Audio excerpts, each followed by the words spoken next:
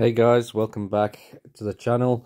Thanks for catching up. This is episode 2 of removing the gearbox from a Colchester Student 2500 lathe.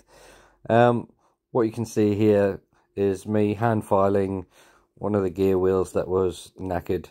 Um, what's turned out uh, to be a case hardened gear wheel has actually gone soft because of the damage which is enabling me to file it using um, a Dremel here just to speed the process up a little bit. But um, yeah, very interesting process um, going through it. A few little bits. There's a lot of burrs um, that are throwing themselves into the um, gears, and that's not allowing the gear to pass through the other meshing gears. Um, so this is why I was fixing this problem.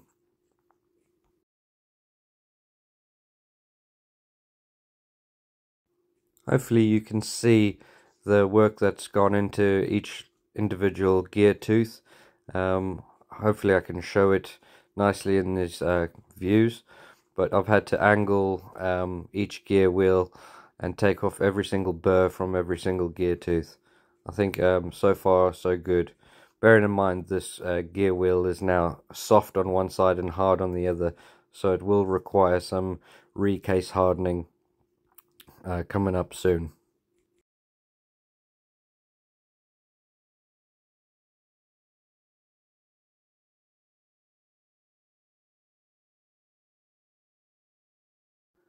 Here we have the process of uh, case hardening, just using a flame, getting it up to cherry red, and then dunking it in some carbon and making sure that once it's dunked in the carbon, we reheat it up to uh, red and then dunk it in some water.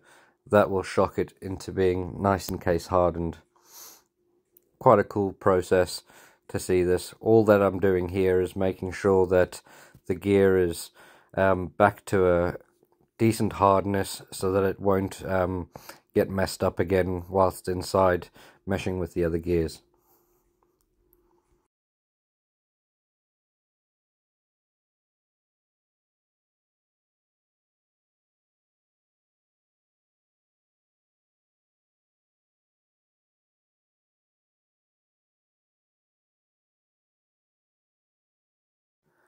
Over here we've got all the gears back in position. Um, it's quite uh, an intense uh, reassembly. Um, you need to be sure of each location of each one of those separate gears.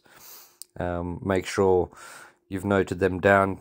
Remember my previous episode I took those notes use those notes and do the reverse of that um, the gasket, as you can see here, is quite damaged, so that's on back order, waiting for delivery. So once that comes, I can put the gasket back on and reassemble the gearbox to the lathe. Here's a nice little close-up of the work that's gone into uh, that gear wheel in particular, showing you how it all fits back together and showing you how the, the meshing gear wheel now is able to move through the gears with ease and no catching on any burrs, which is great. This is what we needed to achieve in the first place. So thanks for watching. If you like this video, please like it and uh, subscribe. All good, you know what to do. Cheers, guys.